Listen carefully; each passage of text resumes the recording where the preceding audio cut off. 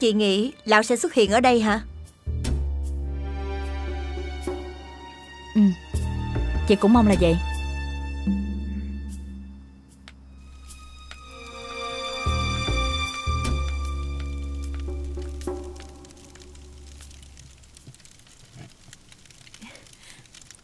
Mẹ! Ngày mai á Con đi qua khu bên kia kìa.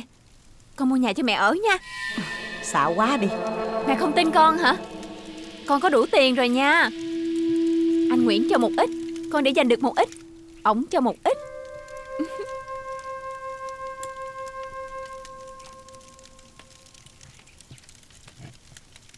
Ừ, Con nói ổng. Mà ổng nào? Là ông ba trước của con đó.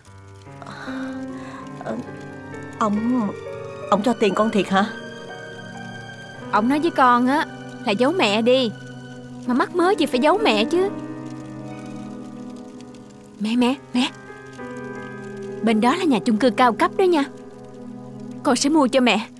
Không cần phải ở cái nhà ọp ẹp nước ngập như vậy nữa đâu. Con không được nhận tiền của ổng.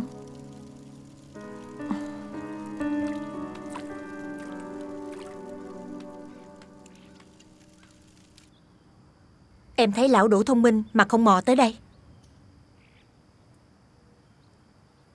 Chị không thể để ông biến mất như một bóng ma như vậy được.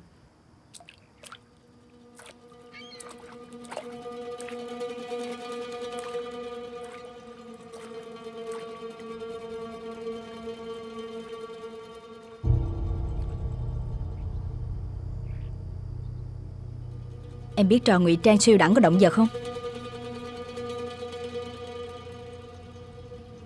Có lẽ trò ẩn mình để trốn tránh kẻ thù. Ừ và cả đánh lừa con mồi nữa. Ông ấy là ai?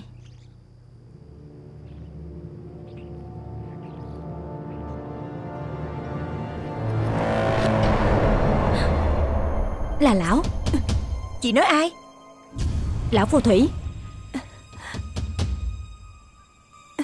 Sao có thể như vậy được?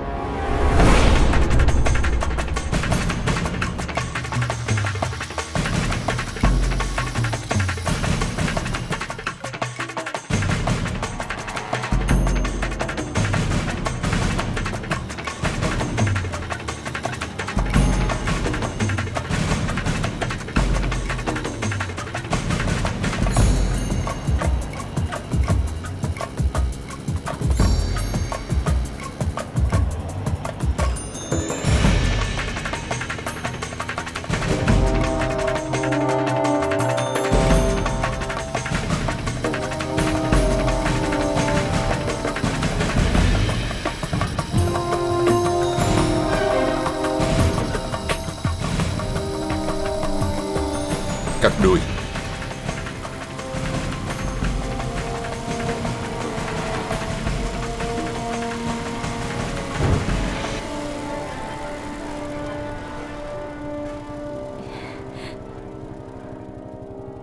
Mất dấu rồi. Sao hắn lại là lão phù thủy được?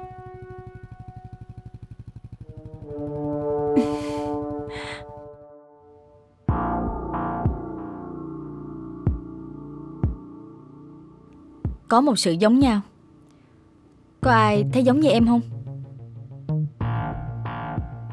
Về dáng dấp là rất giống Nhưng còn về danh phỏng. Đã gọi là phù thủy rồi, Thì giả cũng có thể thành thật, Mà thật cũng có thể thành giả